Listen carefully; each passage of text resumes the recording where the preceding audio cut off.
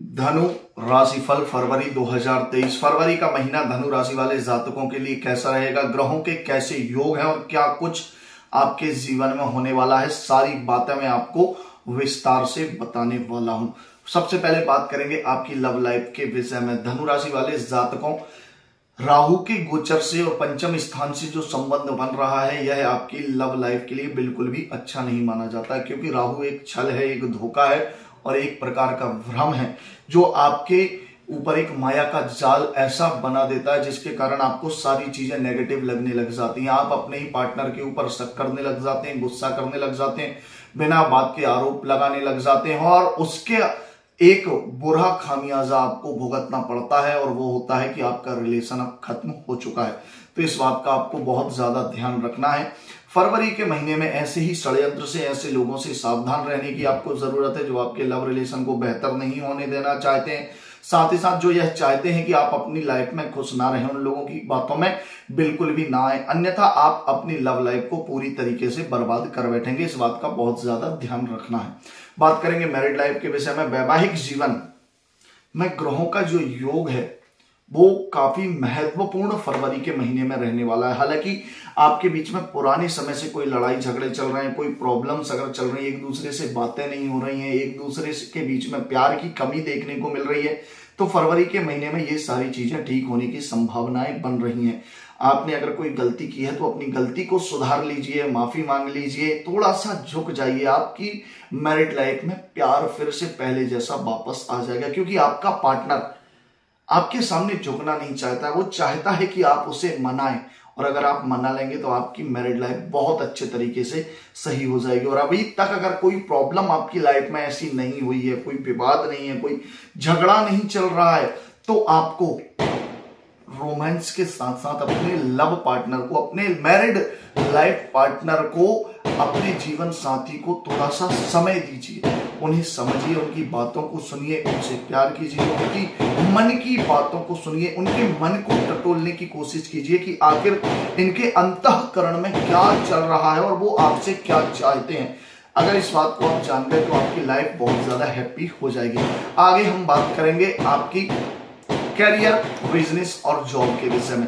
एक बात समझ लीजिए फरवरी का ये महीना आपके कैरियर को लेकर बिज़नेस या जॉब को लेकर काफ़ी कोठा पटक वाला रहने वाला है। अगर आप जॉब कर रहे हैं और गवर्नमेंट सर्वेंट गवर्नमेंट जॉब कर रहे हैं या कोई भी प्राइवेट जॉब भी कर रहे हैं तो शनि और राहु की जो दृष्टि का संबंध बन रहा है ना, वो फरवरी का महीना बहुत ज़्यादा चैलेंज वाला आपके लिए लेकर आने वाला है। काम का दबाव रहेगा प्रेशर रहेगा, बुद्धि भ्रमित रहेगी, करेंगे, कुछ होगा, कुछ रिज़ल्ट कुछ आएगा कुछ भी समझ नहीं आएगा और दिमाग कुंद हो जाएगा, काम करना बंद कर देगा फरवरी के महीने में। कुछ समय के लिए, कुछ तो ऐसा बड़ा आपकी लाइफ में होने वाला है जो आपको बहुत डिस्टर्ब करने वाला है। लेकिन इन सब के बावजूद अगर आप सही तरीके से थोड़ा सा ध्यान रखते हैं, बात को समझते हैं और विवेक से काम लेते हैं और साथ ही साथ जो व्यक्ति आपसे बड़ा है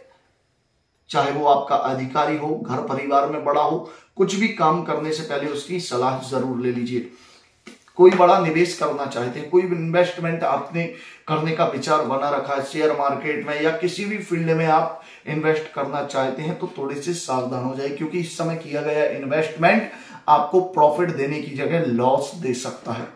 इस चीज़ को आपको बहुत सोचना है, समझना है और फिर अपनी लाइफ में आगे सरवाइव करना है। अगर आप ऐसा नहीं करते हैं तो फिर समझ लीजिए कि लाइफ में जो प्रॉब्लम्स आने वाली हैं, वो आपको बहुत ज़्यादा परेशान करने वाली हैं। बात करेंगे आपके फाइनेंशियल कंडीशन के विषय में तो सूर्य, शुक्र, शनि बुद्ध ग्रहों का जो योग धन के मामले में बन रहा है, वो आपके जीवन में थोड़ा सा संघर्ष दिखा रहा है।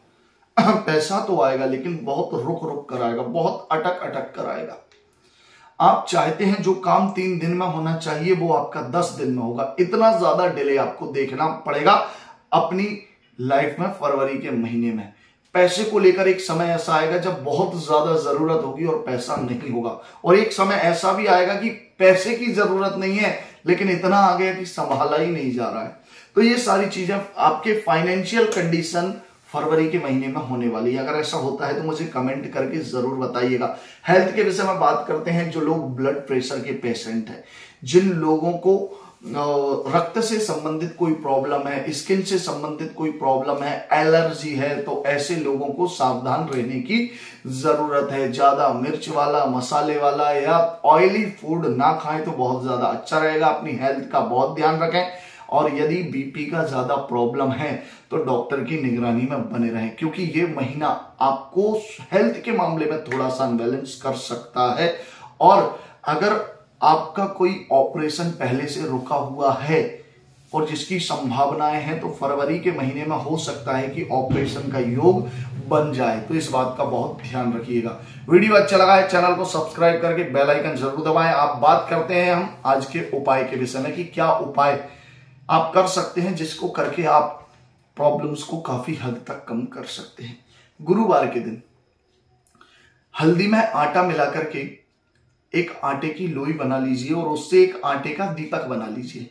और उसमें सरसों का तेल डालकर एक बत्ती लगा दीजिए और उस दीपक को जला करके अपने घर की पूर्व दिशा में रख दीजिए, ऐसा आपको प्रत्येक गुरुवार को करना है। अगर इस उपाय को आप करते हैं तो 100 परसेंट आपकी लाइफ में फरवरी के महीने में जो प्रॉब्लम आ रही, वो तो रुक ही जाएँगी और बहुत ज़्यादा परेशान नहीं करेंगे।